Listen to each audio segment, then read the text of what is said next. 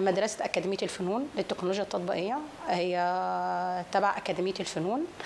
آه، المدرسة تعاون مشترك بين أكاديمية الفنون وبين وزارة التربية والتعليم. آه، بيدخل الطالب اللي هو خريج الإعدادية. آه، المدرسة ثلاث سنوات. بيتم فيها تدريب الطالب على الجوانب الفنية الخاصة بالأكاديمية. الطالب هيكون خريج تقني من مدرسة الفنون التكنولوجيا التطبيقية. في عندنا بعض الأقسام اللي الطلبة بتتدرب فيها علشان يكون جدير لسوق العمل. الأقسام اللي موجودة داخل المدرسة قسم تكنولوجيا وتركيب وتشغيل أجهزة الصوت تكنولوجيا وتركيب وتشغيل أجهزة التصوير قسم تكنولوجيا تركيب وتشغيل أجهزة الإضاءة قسم تحريك ديكور فني قسم تكنولوجيا الملابس والأزياء والعروض الفنية قسم الخدع والمؤثرات الفنية قسم المكياج والتنكر دول سبع أقسام موجودين داخل الأكاديمية. في قسم إن شاء الله هيتم افتتاحه العام القادم قسم الحرف اليدوية. دول الدكاترة المختصين بالأكاديمية شغالين على القسم ده. آه بيعدوا المناهج آه وطبعا معاهم آه خبراء برضو من التربية والتعليم علشان يكون المنهج يقدر يستفيد بيه الطالب ويطلع متمكن لسوق العمل. المدرسة بتقبل الطلبة خريجين المرحلة الإعدادية بيبقى حاصلين على مجموع ما يقلش عن 210 طبعا لازم الطالب يجتاز ثلاث اختبارات الأكاديمية وضعوهم. الاختبار الأولاني اللي هو الامتحان الإلكتروني الاختبار الثاني اللي هو المقابلة الشخصية وفي اختبار ثالث الأكاديمية وضعته اللي هو اجتياز المهارات البدنية. بعد ما الطالب بيجتاز المراحل دي بناخد الطلبة اللي هم اجتازوا كل المراحل دي بجدارة وبيتم طبعا قبولهم في المدرسة. آه بعد ما بيتقابلوا في المدرسة سنة أولى بتبقى آه عام يعني سنة أولى آه بيدرس كل المواد اللي موجودة بالمدرسة. بيجي بعد كده في سنة تانية بيتخصص. كل طالب بيتخصص في القسم بتاعه. في التخصص دوت بيتم في الصيف. يعني الطلبة بتوع سنة أولى بيدرسوا المواد بتاعتهم عادي جدا طول المرحلة الدراسية. بيجي في الصيف بيتم عقد امتحانات للطلبة للقبول للأقسام دي. شؤون الطلبة بتدي لكل طالب استمارة فيها إن هو يختار ثلاث رغبات للأقسام. يعني ثلاث أقسام هم ثلاث رغبات له.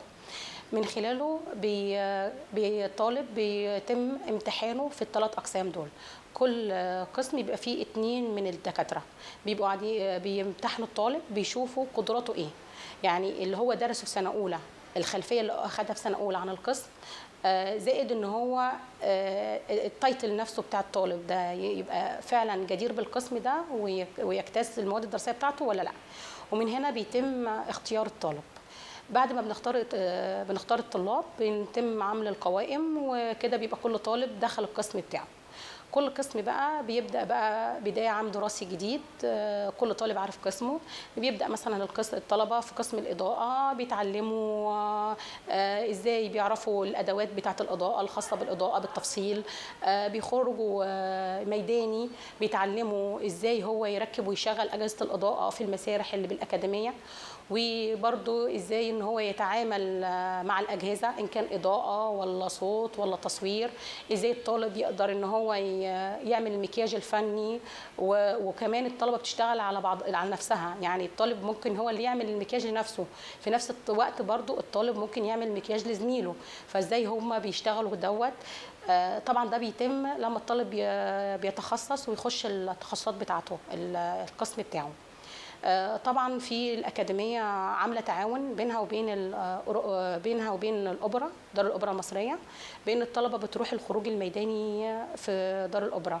وطبعا ده بيؤدي إن الطالب بيبقى عنده ثقل كبير في المهارات الفنية بتاعته. والأكاديمية طبعا فاتحة المسارح بتاعتها كلها لتدريب الطلاب فيها في الخروج الميداني والعملي أيضا. بالإضافة إن المدرسة أصلا فيها ورش خاصة بالطلاب. ورش للإضاءة والديكور والمكياج والملابس والصوت كل الأقسام الموجودة ليها ورش جوه المدرسة. ولكن الطالب بيتعرف على الأقسام دي بالتفاصيل بالتفصيل الكافي برضو في المسارح آه، لأن هو ده اللي بيديله ثقل آه، للقسم بتاعه وثقل للتدريب بتاعه بره في اللوكيشن. الأكاديمية قامت آه، بمشروع التخرج للطلبة آه، الخريجين أول دفعة السنة اللي فاتت. آه، طبعا كان في نخبة كبيرة من الدكاترة م- مباشرين هذا الموضوع مع أساتذة الأقسام كلها. وطبعا المشروع كان عبارة عن فيلم تسجيلي من سبع دقايق عن المدرسة وإنجازات المدرسة وأقسام المدرسة آه، زائد إن هو كان عبارة عن عرض فرعوني لقسم الملابس. بنوري إزاي طلبة قسم الملابس كانوا بيصمموا الملابس الفرعونية وإزاي هم عندهم إتقان إن هم يخرجوا الزي بشكل رائع. زائد إن كان عندنا مسرحية. المسرحية دي بنقول بنقول فيها إن أنا عندي قسم الإضاءة والتصوير والديكور. كل الأقسام دي كانت شغالة في المسرحية والمكياج. كل الأقسام كانت شغالة في المسرحية. وطبعا كان إخراج المسرحية بشكل رائع جدا. فكان ده المشروع اللي الطلبة أنجزته وطبعا كنا شغالين عليه ال- السنة اللي فاتت آه، طول السنة عشان يطلع بالشكل ال- الرائع اللي طلع بيه. طبعا مدارس التكنولوجيا التطبيقية هي مدارس آه، آه، جديدة من نوعها. هي بقى لها كام سنة ولكن هي جديدة على المجتمع المصري. وبدأت أولياء الأمور إنها تحب إن اولادها يخشوا يلتحقوا بمدارس التكنولوجيا التطبيقية. آه، لها دور كبير لما ليها من دور كبير وفعال دلوقتي في المجتمع. وبتكلم عن مدرسة الفنون التكنولوجيا التطبيقية طبعا آه، دورها كبير قوي في التخصصات والمجالات بتاعتها. فبنلاحظ إن الطلبة عندنا هنا بتشارك في كل حاجة في معظم العروض آه، الفنية الخاصه بالأكاديمية. حتى لو في عروض برضو خارج الأكاديمية الطلبة عندنا بتشارك فيها. آه، فده. مين اللي بيت... وطبعا ده اللي بيتيح للطلبة الفرص دي هي الأكاديمية. هي اللي بتخلي الطالب إن هو يروح يشارك في ال- العروض الفنية داخل وخارج الأكاديمية. طبعا وأولياء الأمور بدأت إن هي تحب إن الطلبة بتوعها يخوضوا التجربة دي لأن الطالب من سن صغير آه، بيلتحق بسوق العمل وده طبعا ما كانش متاح قبل كده في النظام التعليمي آه، السابق. حرفة الخيامية آه، حرفة الخيامية بدايتها أصلا كانت آه، مع دخول الدولة الفاطمية في مصر كانت عن طريق آه، قافلة من بلاد الشام آه، كانت معها الجمال الجمال دي محملة فيها خيام وفيها مجموعة من التجار. الخيام دي كانت بتبقى معرضة للإتلاف أو ال- إن هي بتتقطع بعوامل الجو أو إن يتقطع منها حاجة. فكانوا إن هم يقدروا يعملوا زي رقعة الرقعة ديت كانوا بيستخدموها بالخيط والإبرة عبارة عن قطعة قماش بيبتدوا إن هم يقصوها ويخيطوها على القماش. آه، الرقعة ديت جه بعد كده إن هم حاولوا إن هو يعني يطوروا فيها ويخلوها شكلها حلو بمظهر جمالي أفضل. فجت فكرة الخياميه من الخاميه من هنا إن هو ابتدينا إن إحنا نطرز القماش بالقماش. آه، الخيامية أول ما ابتدت إن هي يبقى حاجات أحدث كان عن طريق المفروشات والخدديات والأغطية والمعلقات واللوحات الشعبية. آه، الخيامية فكرة الخيامية هي تطريز القماش على القماش عن طريق الخيوط الملونة آه، بحيث إن إحنا بنطلع منتج جمالي آه، يبقى شكله كويس. حرفة الخيامية كان الإقبال عليها زمان كبير لأن كان شغال فيها الرجال وكبار السن لأن الحرفة دي كانت متوارثة بحيث إن هو الأب بيورثها للابن وهكذا لأن ده كان شغلهم وده كان مصدر الرزق بتاعهم. آه، بعد كده دلوقتي الحرفة يعني هي ما اندثرتش بس فكرة العمالة فيها بقت قليلة عن الأول بكتير. لأن العمالة دلوقتي الشباب عايزين حاجة سهلة حرفة الخيامية حرفة صعبة وبتحتاج مجهود ووقت وصبر كمان إن لازم يبقى عنده صبر في في الشغل عشان يطلع الموتيفة أو الشغل بأدق تفاصيل عشان ما يبقاش فيه أي غلطة أو أي حاجة تنظرها بالعين تشوف فيها آه، حاجة في الغلط في الموتيفة أو حاجة. بعد كده إحنا هنا في ال- الطلبة بيحبوا إن هم يشتغلوا.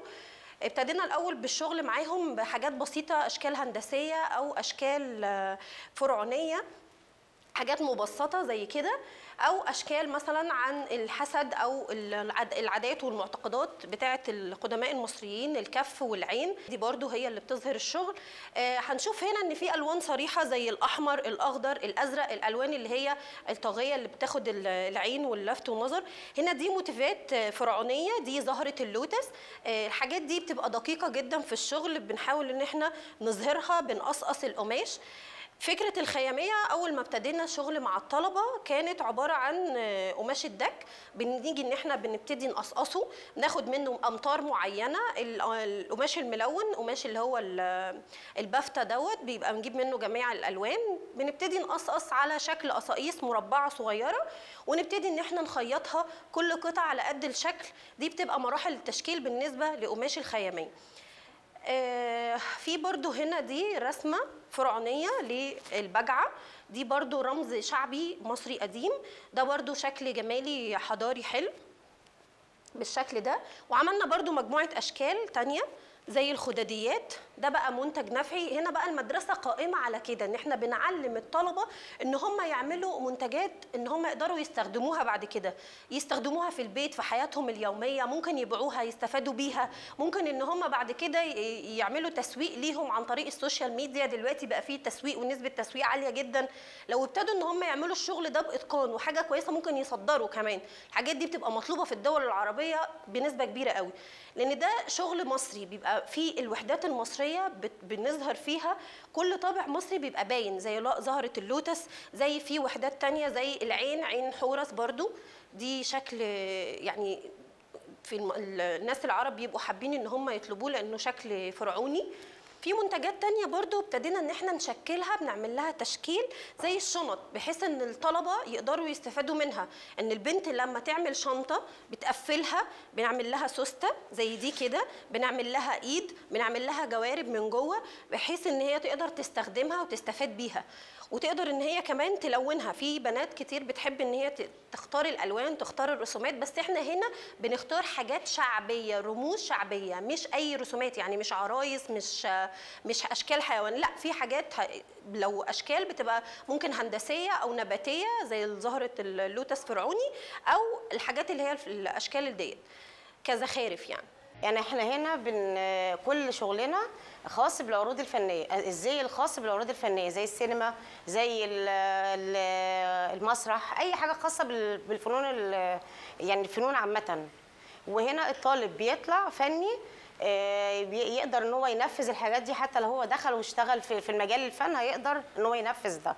وإيه هي الأزياء اللي إحنا بننفذها؟ أزياء فرعونية مثلا أزياء آه، عامة أزياء تاريخية فرعونية يونانية رومانية آه، وأزياء خاصة بال- بالأزياء الشعبية زي الجليب الفلاحي أو أو الجلاليب الرجالي والحري- والحريمي الفلاحي الأزياء النوبية وبرضه بنستقبل نعمل آه، اللي هي الأزياء الخاصة بالباليه وبنعمل ح- أساسيات ال- الملابس يعني ممكن نعمل حاجات اطفالي ممكن نعمل حاجات جاب ممكن نعمل فساتين يعني بن بن بنطلع الطالب إن هو يقدر يعمل كل حاجة أزياء فنية وغير أزياء فنية. إحنا هنا في قسم ال- الأزياء في ورشة الأزياء. دي الورشة دي إحنا بننفذ فيها القطعة ال- ال- إزاي اللي إحنا بننفذه. بننفذ عن طريق المكن اللي هي مكنات الخياطة السريعة. وفي آه، أوضة تانية بالتشطيب بقى. من أول ال over لغاية الكي وال- والزراير والعراوي. التشطيب عامة. فاحنا هنا في المكان الخاص بال- بالخياطة. فالطلبة هنا بيبدأوا يخيطوا القطعة بتاعتهم وبعد كده بندخل نشطبها جوه في الأوضة الخاصة بالتشطيب. ولغاية كي توصل لغاية التغليف لغاية ما يبقى زي آه، صالح لللبس. إحنا هنا بيبقى أول سنة بتبقى سنة عامة جنرال بتبقى الطالب يدخل بيمر على كل الأقسام ويبدأ هو في سنة تانية بقى يقول مثلا أنا هدخل القسم الايه على حسب ما هو مر وعجبه القسم في سنة أولى. فبيبدأ يتخصص في سنة تانية. فهنا آه، بيبدأ بقى يتخصص عاوز قسم ملابس عايز مكياج أو أي قسم اللي هو بيحبه ويبدأ يتخصص فيه. فهنا طبعا بيتخصصوا في قسم الملابس على أساس إن هم حابين قسم ملابس ده. فيبدأوا بقى يشتغلوا على أساس إن هم بيبقى حابين المجال بتاع الفن أو كده الخاص بالملابس. إحنا هنا بنبدأ من أول ما نختار القطعة اللي إحنا ننفذها بنرسم الباترون ليها. وبعد كده بن- بنحط الموديل على الباترون ونبدأ عملية التشريح وبعد كده عملية تعشيق اللي هي وضع الباترون على القماش. بنجهزه إن إحنا نحطه على القماش ونبدأ نقصه بعد ما عمل مسافات الخياطة ليها بعد كده بنعمل عملية السرفلة اللي هي ال over اللي هي أوضة التشطيب وبعد كده بنبدأ نخيطه على المكنة الخياطة السريعة وبعد كده بنبدأ بعد كده التشطيب بقى اللي هي إذا كانت محتاجة اوفا اوفا العراوي الزراير محتاجة الكي. وبعد كده آخر خطوة ليها التغليف إن هي تبقى كده جاهزة لل- لللبس يعني.